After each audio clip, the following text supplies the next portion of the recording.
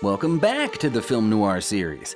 In this video, we will cover Neisseria meningitidis, the cause of meningococcal meningitis, the second most common cause of acute bacterial meningitis.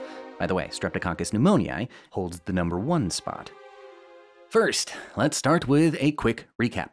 Neisseria are 1. Gram-negative diplococci, 2. Oxidase positive, 3. Glucose fermenters, 4. Growth on chocolate agar.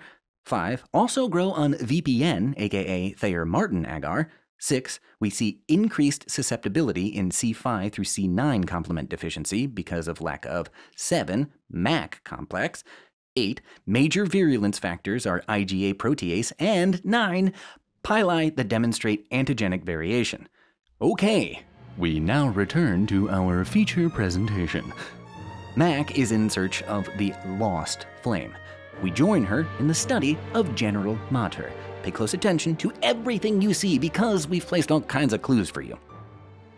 Ah, General Mater likes a single malt whiskey. This should help you recall a singular feature of Neisseria meningitidis, maltose fermentation.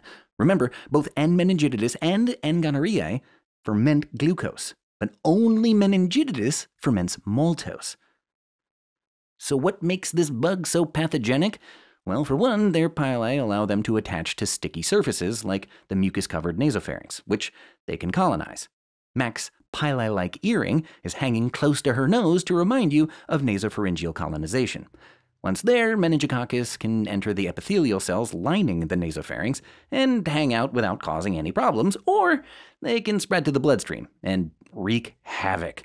In the majority of cases, the bacteria stay tucked away inside the nasopharynx quietly, waiting to catch a ride on a sneeze to spread to the next host. This is called asymptomatic carriage. N. meningitidis can outsmart the host's defenses with a protective capsule that prevents phagocytosis. But it can shed its capsule to enter the epithelial cell.